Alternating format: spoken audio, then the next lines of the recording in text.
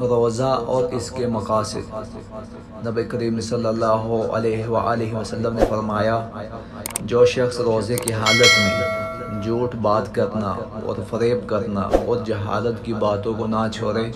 تو اللہ کو اس کی کوئی ضرورت نہیں کہ وہ اپنا کھانا پینا چھوڑ دے